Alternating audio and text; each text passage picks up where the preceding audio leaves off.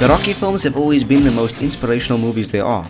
Let's face it, after the first one, they all kind of became big cheese fests with montages, Stallone giving speeches, all in the name of inspiration, of course, and we love it. Borderline fact.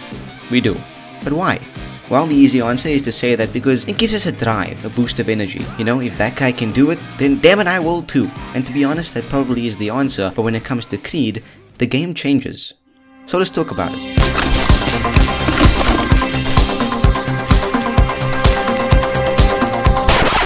While the Rocky films were always about rising up to meet the challenge, setting standards, creating legacies, the Creed films, being the first and second one at this point, have an entirely different theme. Sure, the inspiration factor is still there, but the underlying message has changed from creating a legacy to rising to the level of a pre-existing one. Adonis has to rise to the level that his father, Apollo, one of the greatest boxers in this universe, was at. His challenge lies in not only showing the world that he's a good boxer, but earning the literal right to carry the Creed name. The most interesting thing about these movies is that there are parallels that directly tie the story of the films to actual real life. For example, and I mean the biggest one being the link between the stories of the films and the stories of the history of the films and the making of them. I said it at the start, Rocky is probably the biggest sports inspiration, fighting, boxing, whatever series of films films out there. With six movies and a huge vast fandom of old and young, it's quite the challenge to reboot the franchise with a new lead, to revisit a book that most people thought was closed. The Rocky films had an end in the sixth one. Most people, even Stallone, thought that was it, Rocky was over. Yet here they were making another one with the first Creed film.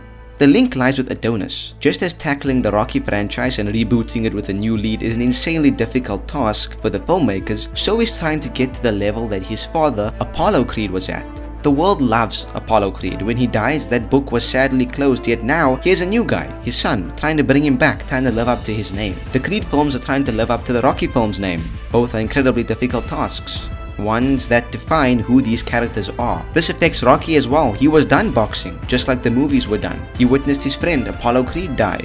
He closed that book. Now he's being called upon to train a new fighter, one that's directly linked to his past and some of his mistakes, just like the audience is being called to witness a new era of Rocky films, even though they might have closed the book on them. It's tough, but I think they rose to the challenge. While subverting expectations are difficult, especially when you're 8 movies in, they continue to surprise.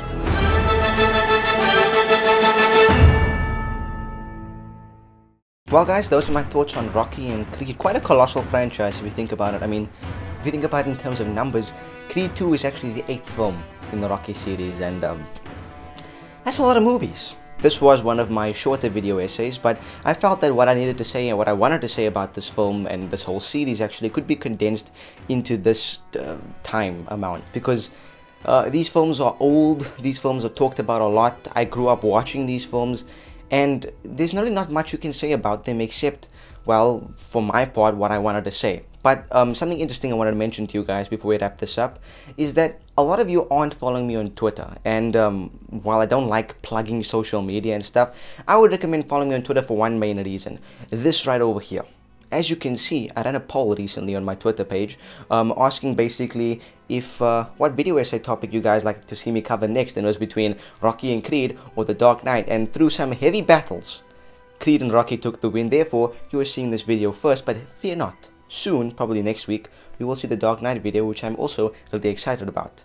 If you guys aren't following me on Twitter and also on Instagram, but especially on Twitter, then do so. The link is in the description because you'll be able to take part in polls like this all the time. Um, the reason I do them on Twitter and not on the um, community tab on my channel is because I'm trying to to incorporate Twitter more and other social media platforms because I feel people who follow me on there, like they really get the full experience because I post behind the scenes things over there. I post thoughts, uh, my thoughts on specific movies when I go to see them in the theater. Uh, all sorts of stuff that you don't see here I post on Twitter and on Instagram well I like to have my I like to do photography as a uh, side thing. So I like to post my photos on Instagram. So those are two social media platforms that I would suggest you follow me on. Twitter for updates and behind the scenes and taking part in polls and Instagram to see what I'm up to uh, photography wise um yeah, that's about all I'm going to plug for my social media pages. Let's move on. If you guys want to like this video, please do down below. It really uh, helps to pop up on the suggestion pages and stuff. We're really trying to get more of a video essay audience in. Um, the video essays have been, haven't been getting as much views as I want. Um, I don't really mind because I love making them and I know a lot of you guys love watching them and I've been getting even some recommendations for topics and stuff which I find is amazing. But liking the video and sharing it with your mates and with your friends and even with your cat. Tubbles, your cat, share the video with him because more people will learn about it and hopefully we'll be able to get more of an audience that is interested in video essays and stuff like that and more interested in the content that I'm trying to make more of on the channel right now.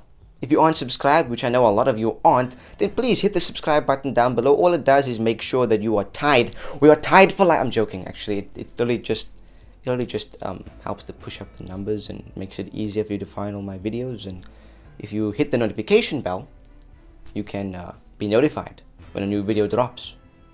And uh, I'm making quite a few of those, if you know what I'm saying.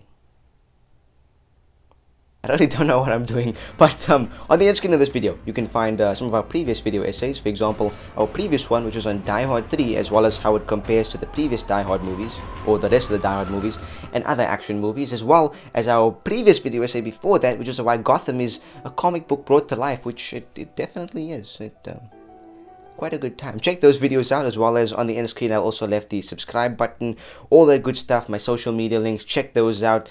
And uh, oh yes, almost forgot, if you guys have any thoughts about Creed and Rocky, here, leave us a comment down below, start a conversation, make it like a forum over there for movies and talk like that. If you want to send me a tweet, do that as well, pop me an email, I'm open to that sort of stuff. If you guys want to do that, definitely feel free to do so. Hope you guys have enjoyed this video. Enjoy the rest of your day as well, your week, your year. And uh, yeah, thanks for watching. Really appreciate it. And we'll see you guys in the next one.